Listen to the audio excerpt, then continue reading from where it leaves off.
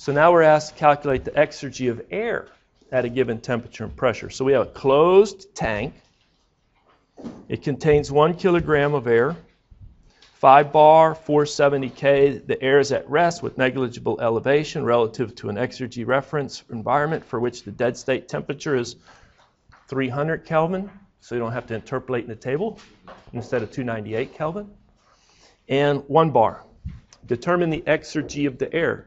Is it the same equation? The exergy is going to be the mass times U minus U naught plus P naught V minus V naught minus T naught S minus S naught plus KE plus PE. Is it the same equation? Did I write it correctly? Thumbs up. Good. No kinetic potential energy for this problem. And now it's a challenge. When you see the word air, you know ideal gas. You can verify that, but looking at a number of problems, this pressure is not extreme, the temperature is not extreme. You know, the temperature would need to be extremely low for it to start to behave as a real gas, or maybe, you know, start to condense out the oxygen or nitrogen. Or the pressure would have to be extremely high. Neither of these cases apply ideal gas, right? Like the majority of times you see air.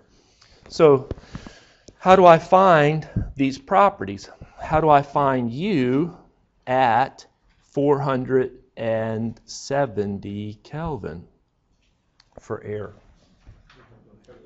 Go to the air tables, and I think it's not no need to interpolate. I think there's a line in there for 470, isn't it not? Is there a line for 470? Yes, there is. Very good. I picked one so you didn't have to interpolate. And then U naught, it's the same table but evaluated at 300 Kelvin. And there's a line for 300 Kelvin. True? All right. Now the real challenge, and I'm going to pause, is I want you to work on this term and this term. And before you get numbers, show me the equation that you're going to use. I want you to think, not just watch, right? So show me the equation, write down. And when you think you know how you're going to evaluate that, don't get me don't show me numbers. Show me the equation to get it for both of those. Okay?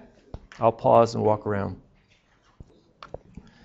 All right, so what I was looking for is for somebody to say, okay, P naught times V, but always V for an ideal gas is RT over P, true? So this, this becomes P naught uh, times RT over P minus RT naught over P naught. How's that? Maybe I should get rid of these extra brackets right there. Do you see that? And uh, so I can put maybe, I don't know, P naught R times T over P minus T naught over P naught. Crunch away with that if you like. Or there's other options. But what is this R? It's R bar divided by the molar mass of air, 0.287, just because you use it often in thermodynamics.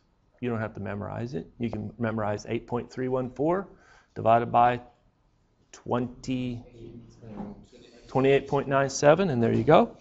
And this is in kilojoules per kilogram Kelvin. Or if you don't like the kilojoule, what do you replace the kilojoule by?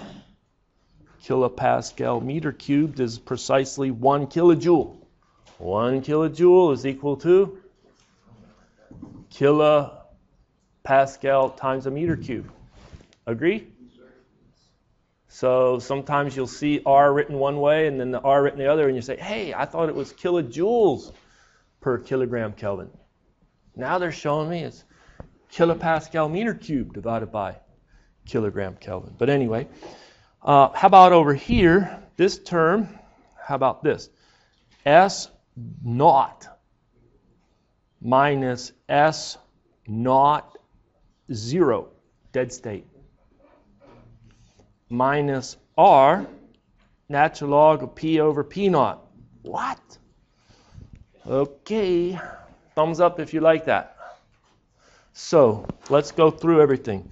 This is a subscript zero, meaning evaluated at 300 Kelvin, the dead state temperature. This is a superscript little o, naught, or something like that, right? That S naught with a superscript is a column in the air tables. What does that naught mean? 1 atm, low pressure. It's not the uh, entropy you're looking for. It's no, it's it's it. This is the temperature only part.